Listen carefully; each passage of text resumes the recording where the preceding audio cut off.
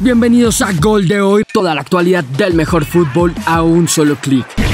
Empezamos video a pura Champions, el torneo que más nos gusta y les explicamos lo nuevo que tendrá este formato y el sorteo que será el próximo jueves. Esta Champions se jugará con 36 equipos, 4 más que en las ediciones anteriores. No habrá zona de grupos, no jugarán todos contra todos, se jugará como una liga pero no jugarán todos contra todos. En el sorteo habrá 4 bombos de 9 equipos cada uno y cada equipo jugará contra 2 clubes de cada bombo, por lo que al final de la primera ronda los equipos habrán jugado 8 partidos, 4 como local, 4 como visitante. ¿Cómo se definen los rivales? Por un software. Así que, por supuesto, seguramente habrá polémica después del sorteo. Tras la primera ronda, los 8 primeros de la liga, porque se juega como una liga, pasarán a la fase de octavos de final. Entre tanto, los que queden entre el noveno puesto y el vigésimo cuarto jugarán unos 16 avos de final para definir los otros 8 clasificados hacia los octavos de final. Después tendremos cuartos de final, semifinal y final como de costumbre. La final se jugará el 31 de mayo en Múnich, Alemania.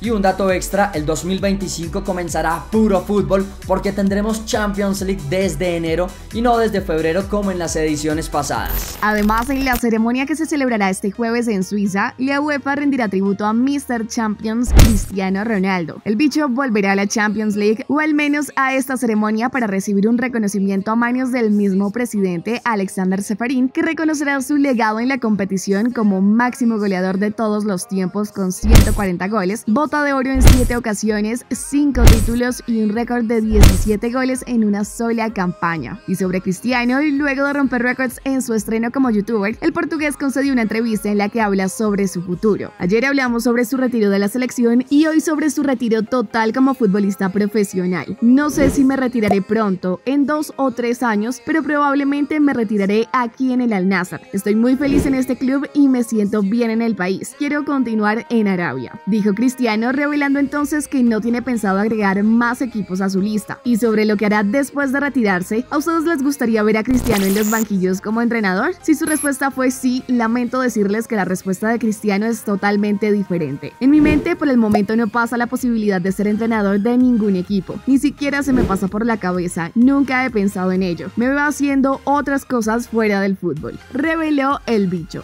Vinicius Junior ha sido objetivo de muchas vinculaciones con Arabia Saudí en una mega transferencia, pero el brasileño en entrevista quiso apagar todos los rumores afirmando que está 100% entregado al club merengue. Siempre he soñado con jugar en el Real Madrid. Tengo solo 24 años y quiero seguir así mucho más tiempo, haciendo historia en este gran equipo en el que juego hoy. No todo el mundo tiene esa oportunidad de hacerlo. Dijo y habló también sobre el Balón de Oro y sus referentes brasileños que lo han conseguido. Marta, Kaká, Ronaldinho y Ronaldo Nazario, sobre quien justamente confesó. Entrené en su casa y me dijo, entrena aquí unos días más, así estarás más cerca del balón de oro. El Atlético de Madrid ha oficializado el préstamo de Arthur Vermiren al RB Leipzig por una temporada. El acuerdo tiene una opción de compra obligatoria por unos 20 millones de euros si se cumple un determinado número de partidos jugados. Y mientras uno sale del conjunto rojiblanco, otro llega, pues el Atlético también anunció el fichaje de Juan Muso de 30 años como nuevo portero traído desde el Atalanta por medio de una sesión hasta junio de 2025. En el arranque de la tercera fecha en la Liga Española, el Celta de Vigo tenía todo para seguir con puntaje perfecto en sus tres primeras fechas, pero tiró todo por la borda en los últimos minutos de juego en el partido contra el Villarreal. Minuto 93, 3 por 3 en el marcador y le llegaron dos opciones clarísimas al Celta de Vigo que desafortunadamente para ellos no pudieron definir. El que sí definió fue Dani Parejo tras un penal que el arquero atajó y en el rebote puso el 4 a 3 a favor del submarino amarillo. Y continúa la Liga Española, liga donde ha llegado James Rodríguez al Rayo Vallecano como se reveló ayer con el dorsal número 10 en su espalda y sobre él ya habló su nuevo entrenador. Creo que es un jugador que interpreta bien el juego, tiene un nivel altísimo, entonces no, lo hará bien en cualquier posición seguro. Estamos contentos de que alguien nos haya elegido de este nivel. James no es un jugador que destaque por su relación con los entrenadores a nivel clubes. Si hacemos un recorder y seguramente solo con dos entrenadores ha tenido un gran entendimiento. Carlo Ancelotti por supuesto que lo llevó del Madrid al Bayern, al Everton y Jupp Heynckes con quien estuvo en el Bayern Múnich. De resto poco destacado destacable su relación con los entrenadores y su nuevo entrenador Íñigo Pérez ya habla de que no quiere ver una estrellita en el equipo, sino que quiere esto de él. Son inaccesibles para el resto o son gente que no falla ni un solo segundo en el día a día, en el entrenamiento, en el partido, a nivel humano, a nivel deportivo. Entonces, bueno, eh, si está aquí, creo que va a ser la segunda vida.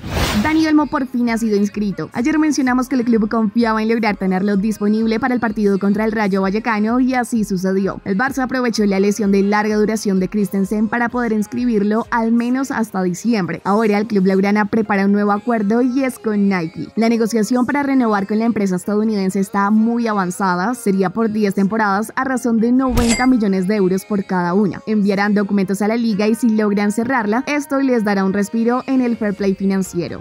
Pasamos a la Serie A, pues tuvimos el partido de la Juventus donde la vecchia señora le metió tres goles al Gelas Verona. Tantos de Vlaovic al 28, Nicolás Abona al 39 y para hacer doblete nuevamente Vlaovic de penal al 53 que finalmente daba los tres puntos a los Bianconeri para ser el único equipo con puntuación perfecta de la competición en la que aún se siguen reforzando, pues ya se hicieron oficialmente con Francisco Conceição bajo sesión desde el Porto a cambio de 7 millones de euros y ya han llegado a un acuerdo por Cup Miners desde el Atalanta por 52 millones más 7 en variables, al que ya se le agendaron exámenes médicos para este miércoles.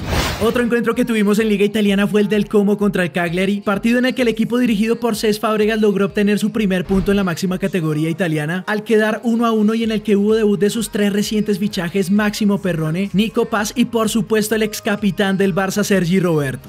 Joao Cancelo será nuevo jugador del Al Hilal. El equipo árabe ya había alcanzado un acuerdo con el City y solo faltaba que el portugués diera el visto bueno y así fue. Operación rondará los 25 millones de euros y Cancelo recibirá 15 millones netos por año hasta el 2027. El Chelsea ya hizo oficial la contratación de Mike Penders a cambio de 20 millones de euros al Genk de Bélgica, equipo con el que se quedará hasta julio de 2025 bajo préstamo. Fabio Vieira vuelve a ser jugador del Porto. El club anunció su fichaje cedido sin opción de compra desde el Arsenal donde estará hasta junio de 2025. Y mientras Vieira se va, llega a los Gunners el ganador de la Euro, Mikel Merino. Han presentado a su nuevo mediocentro proveniente de la Real Sociedad por 32 millones de euros más 5 en variables en un contrato hasta el 2028. El español ya estuvo reunido con sus compañeros e incluso estuvo presente en su primera charla con Mikel Arteta en donde le dieron la bienvenida. El Manchester United por fin ha llegado a un acuerdo con el Paris Saint-Germain para fichar a Manuel Ugarte. Han acordado 60 millones de euros por su traspaso, 50 fijos y 10 en variables, y el entorno del jugador también ya ha aprobado su contrato con los Diablos Rojos, que será por 5 años con opción a uno más. El uruguayo hoy aterriza en Inglaterra para pasar por reconocimiento médico. Una leyenda del fútbol nos deja pues Claudio Bravo le dice adiós a su carrera profesional a sus 41 años. El guardameta que logró darle sus dos primeros títulos a Chile y que jugó para equipos como el Barcelona y Manchester City, ya conocer la noticia en sus redes sociales. Otro guardameta que dice adiós es el polaco Wojtek Szczesny de tan solo 34 años, una edad óptima aún para los porteros, sin embargo el ex de la Juventus anunció su retiro en su cuenta de Instagram. Kingsley Coman oficialmente ha decidido dejar el Bayern Múnich después de nueve años con los bávaros y ahora tiene una oferta importante del Al Hilal según apunta Fabrizio Romano. El francés tiene además opciones con otros clubes de Europa, pero la propuesta de Arabia está también sobre la mesa. Es todo por ahora, suscríbete en el botón que ves en pantalla y haz clic en la campana gris para estar notificado con toda la actualidad del mejor fútbol. Hasta la próxima. Trying to protect your soul.